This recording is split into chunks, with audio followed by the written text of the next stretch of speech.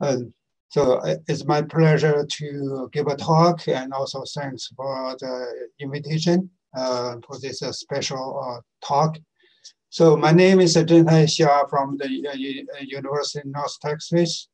And today I'm gonna talk about uh, the design principle of doped semiconductor photocatalyst for solar cell production. so this is uh, my uh, the talk, the outline of my talk. And so first I'm gonna give a motivation. Why, why do we do that? And this uh, topic. And then we're gonna uh, introduce uh, the photocatalyst activities of the doped carbon nitride uh, photocatalyst. And then we're gonna give you the uh, descriptor and also activity uh, indicator and calculated from a DFT uh, calculation. And for this uh, doped catalyst. And then finally, we're gonna give conclusions. So uh, if you look at the nature, so there are a lot of uh, syntheses. Uh, one of the very important things uh, is a plant use uh, carbon dioxide and water and, and the sunlight to make fuels in the form of uh, sugar and oxygens. So this process is uh, uh, green, uh, clean, and sustainable. If we can uh, mimic this uh, process, we can actually create a clean energy technology and to produce clean energy of this and actually, if you look at uh, uh, the reactions, uh, one of the reactions is very interesting and clean. That is the water splittings. So this uh, this uh, water splitting could be used for to mimic uh, the artificial photosynthesis. And in this process, we have first hydrogens hydrogen and uh, no, hydrogen. Uh, water is uh, split into hydrogen as a fuse and oxygen by using sunlight. And but this uh, water splitting, splitting actually is uh, uphill reactions and need uh, input of the energy. here we can use sunlight as an energy resource and to generate uh, hydrogen and oxygens. So in this process, uh, basically, uh, there are three process, uh, three uh, elementary uh, steps. One is uh, electron and a hole, hole pair are generated in the material. And then this electron, excited electron and holes migrate from inside to the surface of, of the material. And finally, so this uh, uh, photo generate electrons are gonna uh, gonna generate uh, the, hydrogens and through these uh, hydrogen evolution reactions. And on the other hand, the holes also move to the other place to uh, oxidize water and to uh, oxygens. So there are two parallel reactions but they need uh, those uh, outside the electron hole electron of that. And one of very important things is uh, uh, catalyst because this uh, is up, first is uphill uh, reactions, and also uh, this process is, is sluggish. Is um, so the catalyst need to, to promote these reactions. And actually, uh, there are a lot of uh, uh, photocatalysts, uh, especially the semiconductor photocatalysts that have been identified. Uh, for instance, uh, oxidation, oxide um, material, nitride and material. one of the popular the semiconductor photocatalyst is titanium oxide or the zinc oxide.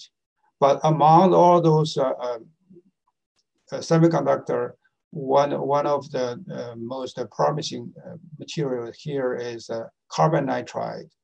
So carbon nitride have uh, a car have a band gap is uh, about uh, 2.5, 2.7 electron volt is uh, purple band gap for the photocatalyst and can absorb the sunlight and expand and with a high VCC.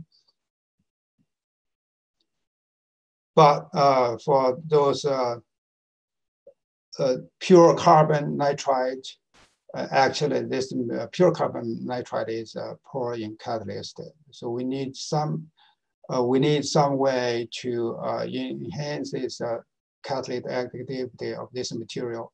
Of course, for other kind of material, for instance, titanium, titanium, titanium oxide and zinc oxide, they also need uh, dope so that it, uh, to increase their uh, light absorptions and migration and also other kind of light properties and catalytic activity, activities. And so uh, among all those uh, process uh, or, or, approaches, one of our efficiency method is using doping. So you introduce a small amount of uh, uh, material uh, elements or doping into the matrix of carbon nitride, and you can significantly increase the uh, not just the light absorptions, and also they can uh, affect uh, the, the, spectrum of the light covered, so-called the redshift. And also uh, they, they can increase the hydrogen uh, re reduction, percent reductions. For instance, here, uh, this is a hydrogen evolution uh, reactions, uh, reactions. If you intro introduce a different halogen, um, halogen element into the carbon nitride, you can act, you can actually increase the uh, hydrogen uh, productions. Uh, but for different material, for different elements, you have different effect. some are larger, some are smaller. And so depend on the, the element that you choose. And uh, but if you look at uh, uh, periodic tables, there are a lot of elements available for this dopings the first uh, uh, um, first one is a p-block element. You can see a uh, halogen element. You can introduce those elements into the carbon nitride to generate uh, doping. And of course, you can also use other, instance, uh, borons or carbon material to, to do that. But this type of uh, dopings, we, we call the metal-free uh, doping here. But you can also introduce uh, the transition metals. For instance, uh, this 3D transition metals can be introduced in, into the carbon nitride to improve their properties. Of course, you can also introduce the other elements, for instance, alkaline earth element, or even uh, the, the other elements to introduce for the structures, you can also uh, you, uh, introduce a single element, or you can use uh, you introduce a dual element and for the co-doping to further increase the um, probably and for the catalytic activities. So you can see there are a lot of uh, elements you can use and uh, the combination of those uh, dopings could be numerous, a lot of uh, combinations uh, candidate for this uh, carbon nitride, doping the carbon nitride for catalyst. So the question is uh, uh, also the problem is uh, since there are a lot of numerous elements, combinations, if you use a, experiment to uh, look at the better or best catalyst, photocatalyst, it, it would be uh, a time consuming and costly. because uh, for each element, you have to use, you have to look at their activities. And also for different elements, the amount element elements is also uh, a variable. Uh, so they're going to they need a lot of experimental explorations. So uh, one of the uh, alternative uh, approaches using uh, computations, for instance, using DFT simulations, you choose, you, you, you calculate the activity of those doped structures and develop a design principle, and then you select or screen the, the element uh, best element or best structure from these uh, numerous structures so that, uh, and then uh, you, you can use a focus ex experiment to uh, synthesize these uh, structures in such a way you can save a lot of time and a lot of effort. And, uh, and, and also you can get insight into the you know, why, why this element or doping structure is, is the best one.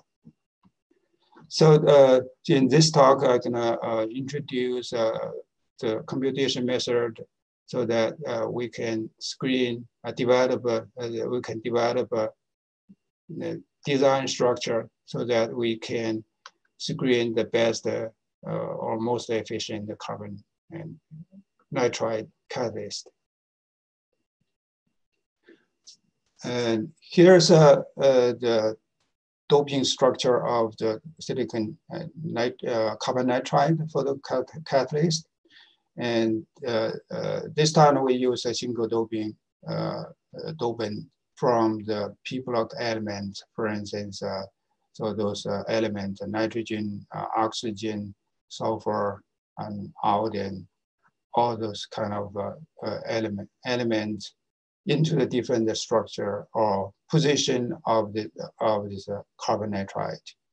And once you replace uh, the, uh, the carbon or ni uh, nitrogen inside these uh, structures, so the, they become the dopant and uh, affect the area of, of these structures basically one, one uh, you could uh, replace one element uh, inside is carbon nitride.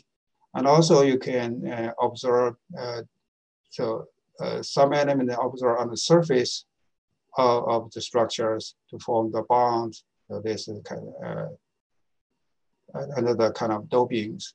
Or this uh, uh, dopant could be uh, existing in, in the uh, spacing of this hole to form the structures. Uh, structures. So there are a lot of uh, uh, uh doping structures, basically uh, over 100 doping structures we have explored, explored in this research. And the method what we use is the density function. So we calculate electronic uh, structures of these doped uh, structures and also uh, activities or kind of uh, uh, properties. And so here is uh, uh, one of the examples uh, of the doped structures. Uh, if you look, this is the undoped uh, carbon nitride, and this is uh, the boron doped carbon nitride. And if you compare with the doped boron doped carbon nitride, the local uh, charge distribution is changed.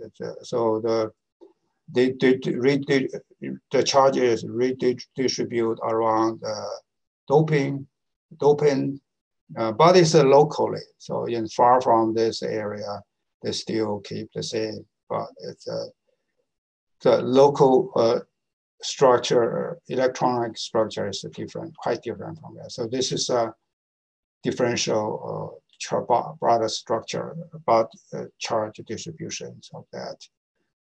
Uh, because of the local distribution or, or, redistribution of the charge, so they can affect the absorption and energy light absorptions and uh, the separation of the charge, uh, the electron in the hole and other properties.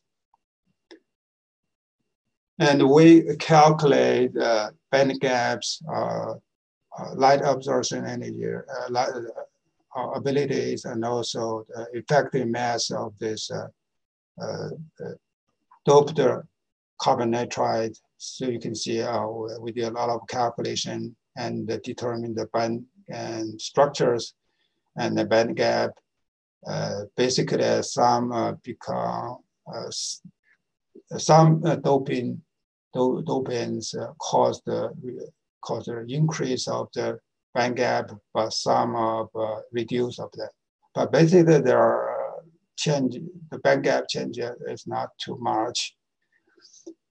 And for the uh, absorption, light absorption uh, relate to the first step of light uh, absorption from sunlight. Uh, and if you compare with this pristine carbon nitride. And you can see here, and the uh, absorption coefficient actually uh, increased. And on the other hand, so uh, the absorption efficient also increased uh, along the that direction. That is a red uh, spectrum, red light spectrum. So that means the doping can introduce the red shift so that uh, so this material can be used uh, can be used to uh, can be used for more sunlight collector uh, more sunlight and for the mass uh, electronic electronic mass uh, you can see the result what we calculate here is the mass most of mass is reduced some is increased uh, because uh, uh, the electron or hole's mobility is, is a, a, reciprocal of the mass. So that means uh, some doping increased the mobility of, of, the charge carrier. And for the whole uh, structures, uh, doped structures, the photochemical efficiency can be calculated by uh, the, if you know the light uh, harvesting efficiency, uh, charge separation, and then charge utilization uh, efficiency. Uh, and the total uh, uh, efficiency should be the you know, product of these three factors in three steps.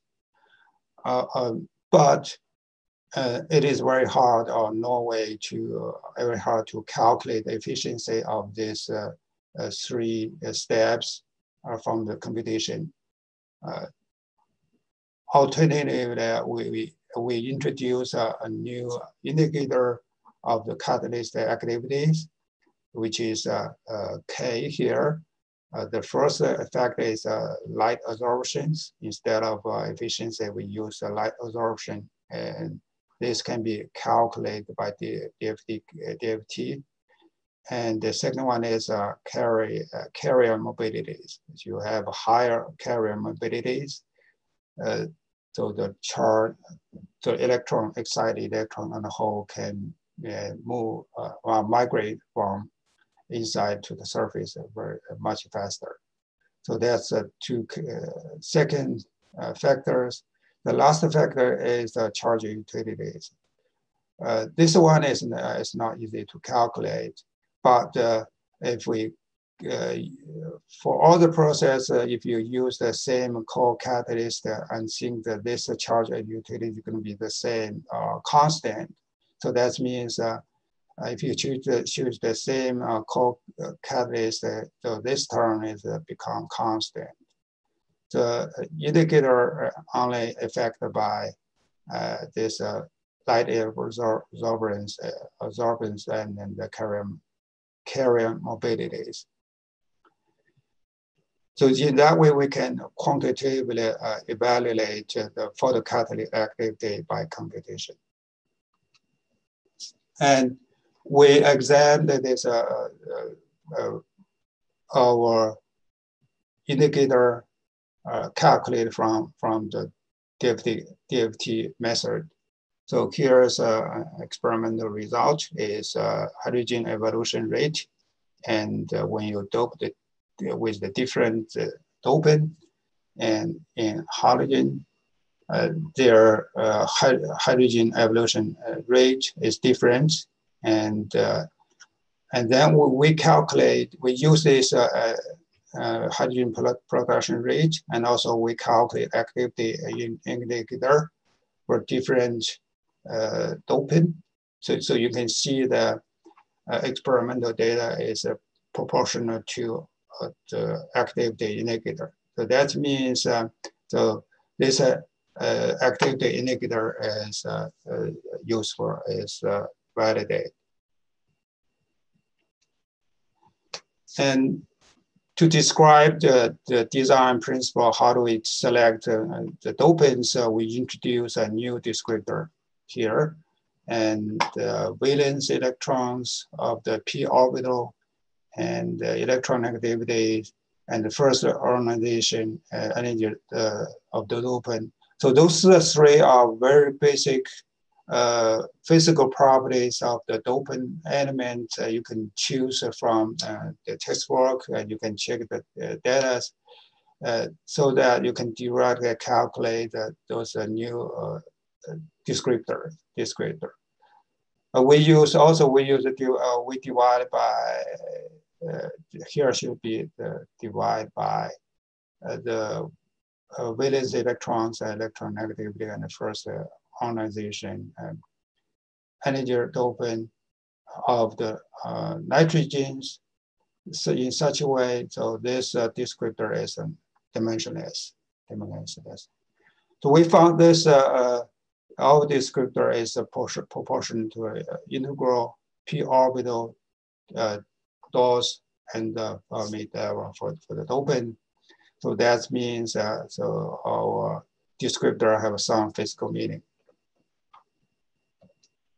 And so we use our, uh, we applied our descriptor to the calculation of the band gap and other properties so here's our calculation. This is the band gap, and this is a descriptor. You can see here the band gap actually uh, up and down, there are small variation, but basically it doesn't change too much uh, for the descriptor. Same for the for, for the other properties, for the valence band and uh, the conductive band. And uh, we collect the experiment data from the literatures for the semi-structures. And uh, so this is a normalized band gap uh, from the literatures from the experiment. And this is our descript descriptors. So you can see the normalized band gap uh, actually uh, a little bit, but still that they around this, this level. So this is a, consistent with our uh, theoretical predictions. And uh, we also uh, uh, calculate the normalized the, the absorption, light absorption. so this normalized absorption is the light absorption normalized by the pure carbon nitride, carbon nitride. And so, so, so if you look at the, these uh, pictures, uh, the normalized uh, absorption as a function of descriptor, you can see there's a, a so-called volcano shape. And around this area, they have maximum, they have a better or, or best absorptions. And on two sides, you have a very low absorptions. absorptions. So that means uh, the doped uh, carbon uh, nitride, uh, if, the, if you use this uh, dopants, you have a better uh, absorptions. And the mobility here uh, is represent the migration of the electron hole to the surface. The, the, the larger mobility, the higher, uh, you know, the, the better separation of the hole and the electrons to the surface. And you can see here, uh, uh, this uh, mobility also form this volcano shape when, when the descriptor is equal to one, and then you have the best one. So the nitrogen and the iodine and dopant stand out as the best catalyst, photocatalyst, as the best dopants. And so from this calculation, actually, you can uh, identify the, the effect of this uh, dopant uh, on the absorption and the separation. So we combine this, uh, uh, this absorption and, uh, and the mobilities and introduce the indicator, we just show that the indicator for the catalytic activities and it's a function of the descriptor here. And uh, uh, it turned out, so there is uh, also the volcano shape like that.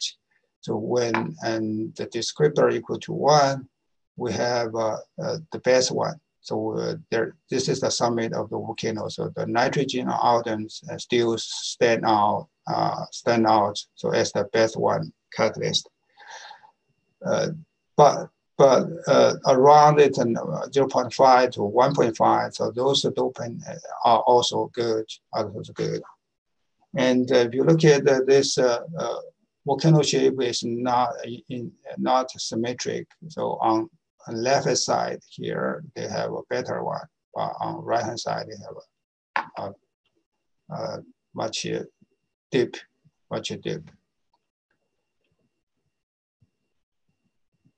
All right, so uh, to uh, verify our predictions, so we also, we also collected uh, the experimental data from the literatures. And uh, so here is a normalized production rate. So in order to uh, more accurately predict, uh, predict the rate, we use a, a normalized production rate of the doped carbon nitride and the, uh, normalized by the rate of the uh, crystalline um, carbon nitride and the same condition in the same uh, experiment and the same literature. And, and, and then, uh, so we put this uh, normalized uh, hydrogen production rate as a function of the descriptors. So you can see here, uh, uh, they also form a nice volcano shape. From this volcanic relationship, we can predict that, that when the descriptor is equal to one, and they have best one. So the, the iodine here, the nitrogen is, uh, uh, is here, but the uh, is a little bit offline. But uh, if you look at another paper, uh, they use both uh, those uh, these four elements. Uh, they get the order of activity is audience best one. So that means basically so this can be if you still available, still available. But this anyway. So this volcano shape is pretty much similar with what we predict by the DFT simulation. And also more interesting, uh, we, we collect the data uh, from the literature for the uh, carbon nitride, not just carbon nitride, and uh, for the hydrogen evolution. And we also collect the carbon nitride uh, for the carbon dioxide reduction to the carbon monoxide. So this is also another uh, clean energy conversion and and also calc uh, collected the data for uh, doped titanium oxide, uh, zinc oxide for hydrogen evolution and uh, oxygen, carbon monoxide reductions. And here is a, a normalized uh, band gap. And if you look at uh, as a function of the descriptor, if you look at uh, there's a change, a little bit change around this one but a little bit below uh, is a, is a descriptor is equal to one. And for the normalized production rate uh, for this HER and and also carbon dioxide reductions rate. So if you put all the data here, you can see uh, they, they also form a nice uh, volcano shape. And uh, the, the, the summit of this volcano shape is still uh, here, still, still here. Similar what we, what we uh, predict uh, for carbon nitride, carbon nitride. So that means, uh, so this uh, descriptor is a design principle, uh, is a universe, universal. Uh, they could be used uh, for the carbon nitride, and also it could be used other uh, semiconductor like titanium oxide and zinc oxide. I think that the success uh, for this uh, descriptor is because uh, when you dope the, semiconductor, I think the doping is a major event, a major effect on the calculated activity. So this descriptor captured the major properties or, in, uh, or intrinsic properties of the doping. So that's why they can predict the catalytic activity for different material. And in conclusions, uh, we introduce in, in, in intrinsic, uh, intrinsic descriptors. And so this descriptor is a universal and could be uh, used to uh, describe the, the catalytic activity for different uh, semiconductor, for instance, uh, carbon nitride, titanium oxide, and zinc oxide. We also introduce uh, activity indicator uh, in such a way we can directly determine this uh, activity by DFT, DFT calculation. And uh, so we uh, develop a, a design principle so this uh, design principle could be used to screen the best uh, catalyst from the numerous uh, semiconductors for hydrogen evolution or hydrogen productions and probably carbon dioxide reduction into CO, CO uh, carbon monoxide and the other fields.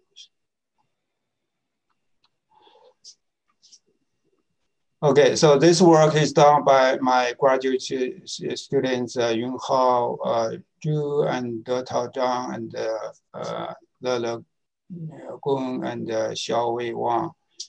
So they uh, did a lot of work to, for the calculation. And, and also I would like to uh, thank uh, my collaborator, Jin Zhang, uh, Li Peng Zhang, and uh, Li Ming Dai, they uh, give a lot of uh, advice and uh, also you can directly involve this research calculate and calculation. And I, uh, this work is supported by National Science Foundation. I'd like thank for their financial support. And uh, if you have any questions, just uh, contact me. This is my contact address. Thank you very much for your attention. And if you have any